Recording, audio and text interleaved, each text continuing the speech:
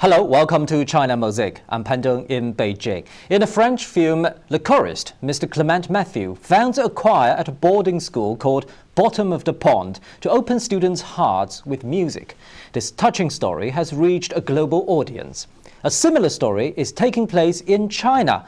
Wang Jingmei, who volunteers to be a teacher in a rural area, has led a troupe composed of children there to come on stage at an international metropolis. In spite of being a bit timid at first, these children gave a pleasant performance of Yunnan folk songs and could even sing songs in English and German with ease. Coming from Datang village, a remote area in Tengchong, Yunnan province, these children knew little about musical notion two years ago. Although Datang Primary School is equipped with good facilities, it lacks teachers, especially those who specialize in arts education. Graduated from a prestigious university, Wang Jingmei began studying music at a young age. She had planned to set up an art troupe at a primary school even before working as a volunteer teacher. However, the process turned out to be far more difficult than imagined. There was no music classroom or musical instruments in the school, and the students knew nothing about music theory.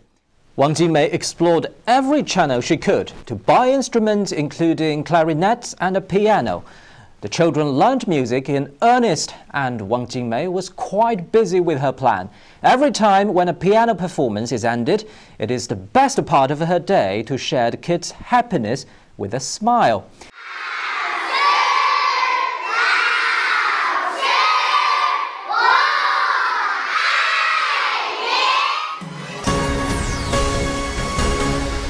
As a quote from Plato goes, the object of education is to teach us to love what is beautiful.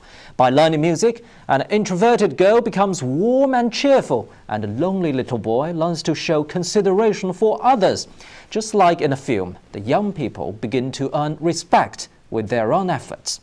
Wang Jingmei expects these children could see the outside world beyond mountains one day. Therefore, she launched an online crowdfunding campaign in order to raise the money to hold a special concert.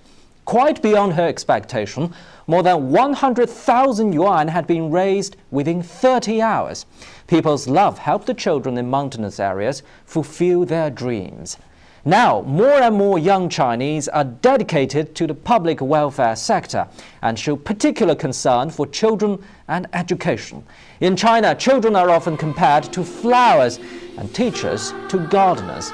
Wang Jingmei says music is the dandelion she has sprinkled in the air. Perhaps some children in Datang Primary School will become musicians one day, just like Pierre does in the film. However, that is not the most important thing. What's really important is that the seeds of the dandelion have gone with the wind, germinated, and grown in a vast world.